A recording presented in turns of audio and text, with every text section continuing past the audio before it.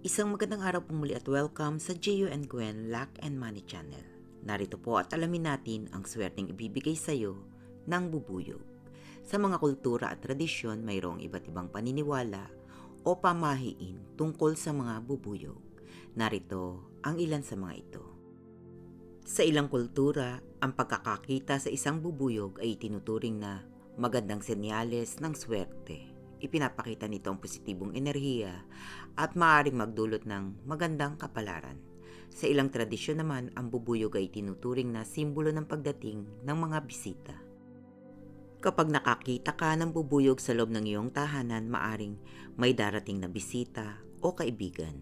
May mga paniniwala rin na ang kilos ng bubuyog ay maaring magbigay ng senyales tungkol sa iyong kalusugan.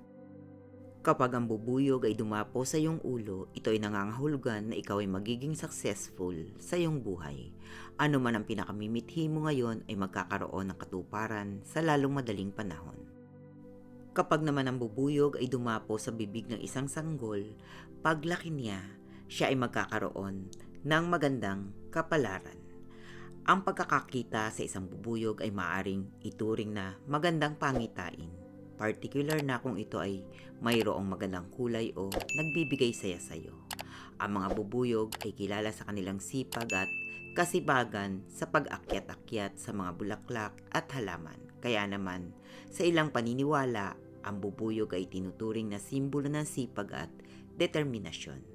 Pinaniniwalaan rin ng ilan na ang bubuyog ay maaring maging daan para mahanap ang mga nawawalang bagay.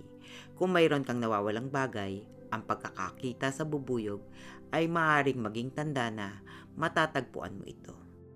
Sa ilang paniniwala naman, ang pagdapo ng isang bubuyog sa iyong katawan, lalo na sa kamay o braso, ay tinuturing na magandang senyales ng swerte. Ipinapakita nito ang positibong enerhiya at maaaring magdulot ng magandang pangyayari. Kung ang isang bubuyog ay tila malapit at hindi umaalis mula sa iyong paligid, ito ay maaaring ipinapakita ang pagdating ng swerte sa iyong buhay.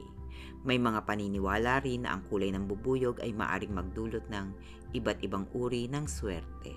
Halimbawa, ang pulang bubuyog ay maaaring magdulot ng swerte sa pag-ibig, habang ang dilaw ay maaaring magdala ng yaman o tagumpay sa negosyo. Sa ilang kultura, ang mga kakaibang kilos o pag-uugali o asal ng bubuyog tulad ng pagkakabanggit nito sa iyong harapan o tila pagtingin nito sa iyo ay maaring ituring na senyales ng swerte. Pinaniniwalaan rin ng ilan ang pagkakakita sa isang bubuyog tuwing oras ng mag-aalas 5 ay magdadala ng swerte ang pagkakakita sa isang bubuyog matapos makakita ng masamang pangitain o magkaroon ng negatibong karanasan ay maaring magdulot ng kaginhawaan at swerte. Ang pagkakakita sa bubuyog ay maaring senyales na may darating na magandang oportunidad o pagkakataon sa iyong buhay. Maaring ituring ang pagkakakita sa bubuyog na senyales ng tagumpay sa mga layunin o proyekto na iyong inaasam. Ang pagkakaroon ng bubuyog sa iyong paligid ay maaring magdulot ng mas maraming positibong enerhiya sa iyong buhay. Sa ilang kultura naman, ang pagkakakita sa bubuyog ay maaring maging simbolo ng pagpapakita ng katalinuhan at mas maraming kaalaman. Pinaniniwalaan rin ng iba na ang pagkakakita sa bubuyog ay maaring magdulot ng pag-ibig o romantikong pag-asa sa iyong buhay. Ang mga bubuyog na naglalakad sa mga bulaklak ay maaring magdulot ng pananampalataya at pag-asa sa magandang kinabukasan. Maaring maging palatandaan ng tagumpay pagkatapos ng mga pagsubok o mga hamon sa buhay. Ang mga bubuyog ay maaring magdulot ng magandang kalusugan at kasiyahan sa iyong buhay.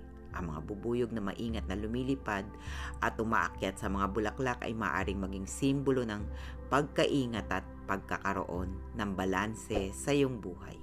Pinaniniwalaan rin ng iba na ang bubuyog ay simbolo ng pag-unlad at pag-asenso sa iba't ibang aspeto ng iyong buhay.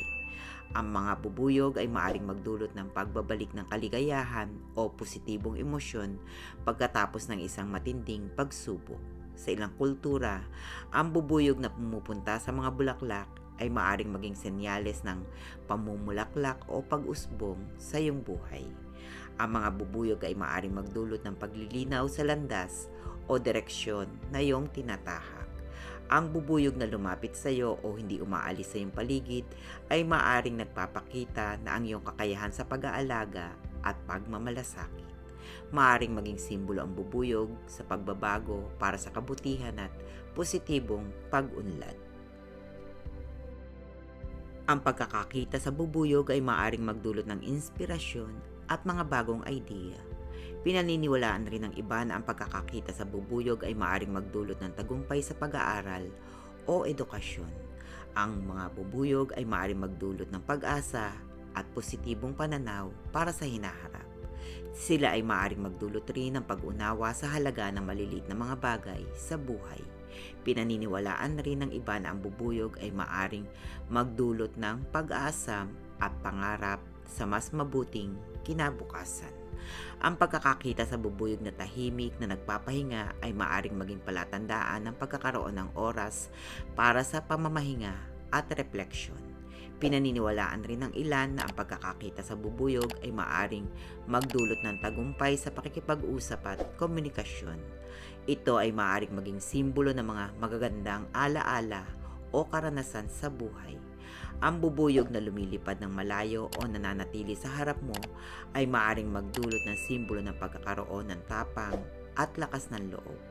Ang mga bubuyog ay maaring magdulot ng pag-asa at pag-asam sa pag-ibig at romantikong relasyon.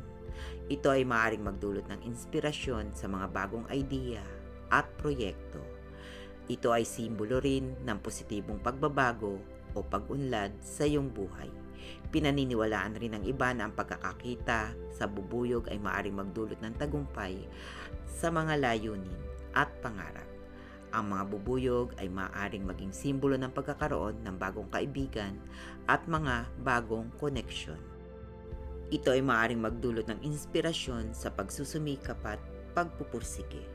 Paalala lamang po na ang mga pamahiin at mga paniniwala ay nagmumula sa mga kultura, na tradisyon at hindi ito may basihan sa siyensa. Ang mga kahulugan nito ay maaaring mag-iba-iba depende sa lugar, kultura at karanasan ng bawat tao.